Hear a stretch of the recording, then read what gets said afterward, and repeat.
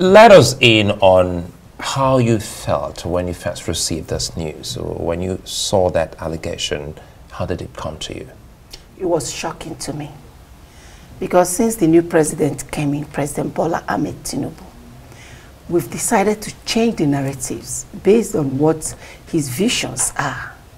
And we decided that that issue of women not supporting women must have to come to an end. And we moved on again to see how we change the narrative towards the women's lives, of which you know we're the poorest.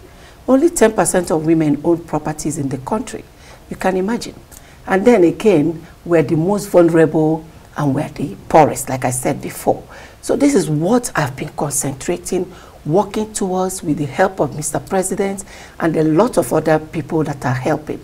So it really shocked me that a member of the House who is actually in charge of women could come out. I want to look at it that she actually made a mistake because we will not tolerate a woman bringing down another woman anymore. We are supposed to concentrate all together in making women's lives better, working on protecting the lives and properties of girls and women. Do you So, think this is really, me. yes, I mean, understandably so too. Do you think this is really just about women, uh, you know, trying to bring down women, or is it a matter of uh, uh, an oversight role that she's playing and to ensure that uh, there's accountability and transparency? is she wrong in asking, you know, the questions that need to be asked about your ministry and your handling of your ministry? She didn't ask a question. Right. She called my name, not the ministry's name. Let me correct you. Mm-hmm. And if she was trying to ask questions, since I came into the office, I've not handled any constituency projects. So whatever she meant or they were talking about was things that happened before I came. You, you heard all she had to say before I there. came. Have you, you know, seized the opportunity to, to explain your side of the story at all before this um, oversight uh, committee? Have you done that? My dear sister, I have nothing to explain. Because if they were actually investigating anything, everybody is termed uh, not guilty until you're found guilty. And how can they be investigating me? I've not done anything. I've not done any constituency project. I've not been in charge of any since I came in. Have they invited you to come respond No, to they, questions? they actually went to uh, account to find out whether they have been paid. And when they got some papers from accounts, what the paper said, they had a lot of discrepancies in the report. The paper said they paid some other companies and uh, uh, people they were owing 50 million, they said they paid 80 million. There was, so the house was like, let them move on to call the accountant general and find out where the loopholes were coming from. It wasn't on me. It was on issue of unraveling the things concerning the constituency project, of which many were not yet done. So she doesn't have, she did not have any reason to come on air to say what she said. But like I said, I will not fight my fellow woman. What I will do is that I will make sure she realizes that the narratives have changed and she has to join the wagon. What's the narrative wagon. now? The narrative now is that we women should focus on how we uplift ourselves because there are a lot of poverty amongst women and so many women don't have properties except 10%. We need to include them in so many things politically and otherwise. We have a lot to deal with. There is a lot of defilement, maltreatment on women, killings, so many things that are very important. And listen, I am not ready to steal for anybody and go to jail. I'm not going to do that. I want to concentrate on my job and I will not accept any distraction. Well, uh, the good thing, point. y- you're a lawyer apart from being a minister, and we understand that uh, uh, there are, you know, modalities you really must follow before you come to that conclusion. Uh, she just said that uh, they've not even started the investigation. Yes. Uh, and she also alleged that the uh, complaints uh, about you are many. Many.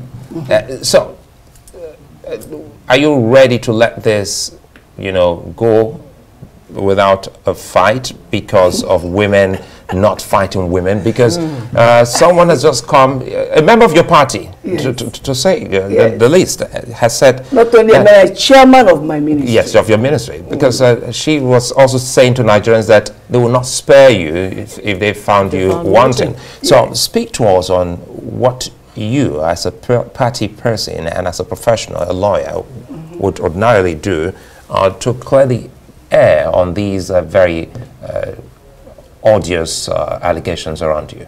I am not ready to say that here. I'm sorry. What I said is that I will make sure, I'm assuring Nigerians that she will learn how to behave better. And we will help her re-navigate her to the new narratives. How has, will we do that? I will has, not say has, it uh, Have you gotten any uh, call on this uh, from your party hierarchy? Because uh, this would also look Nobody like a party affair. Nobody will take what she said seriously. I've not seen petitions against me. And again, if she had a lot of petitions against me, any normal person will first of all carry out an investigation. And when investigations are being carried out, it's somebody supposed to come out on TV to talk about it. So I want you to be the judge. But I am not, like I said, I will not say anything, but I'm assuring Nigerians that I will re-navigate have you, her. Have you been uh, invited? Are you understanding by, my Have you been invited by any of the uh, agencies? agencies? No, I was anti-corruption for what? Okay. No anti-corruption agency invited me. So are for you what? saying? Are you saying if uh, for what? Uh, where is the invited, money that I will even? are you saying that if you're invited, you would not, uh, you know, show up to defend? If uh, corruption agency. Whether it's the anti-corruption agency, whether it's that committee that oversights Why your, won't the committee, your ministry? If the ministry, there's discrepancies in the payments mm. and they're trying to figure things out, why won't I answer them if I'm called? Okay. I have to respect the house. Right. If I'm called, I will go there, but I'm not afraid of anything because I've done nothing. Okay, so the point is you haven't been invited yet. Is that what you're saying? No, they've invited our office, not okay. me not in you. particular. Okay, great. They needed the account mm. to be able to sort the discrepancies out. All right. Uh, Are you understanding my yes, point? Yes, They were not focusing it on me because I didn't commit any crime. Okay. So it shocked me that my name was mentioned. But it's just a pity it happened like that. What's the relationship between you both as uh, members of the same party? She's a House of Rep member. I have no issues with her. I had none with her. And I myself am a minister. There are two separate places. She has her place. I have mine. And I'm focusing on mine.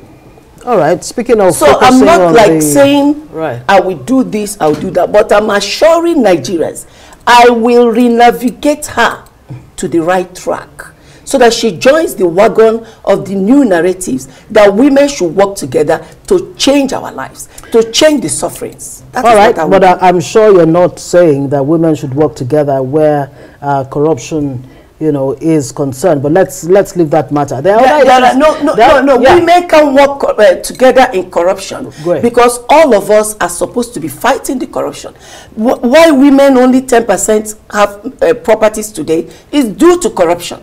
So for us to defend the women, protect their rights, the first thing you must fight is corruption. And it's obvious, God knows I'm doing that. Okay, great. I don't take it for granted. Anybody that tries to use either corruption, intimidation on any child or woman, you know, I come out openly to fight. Now you talk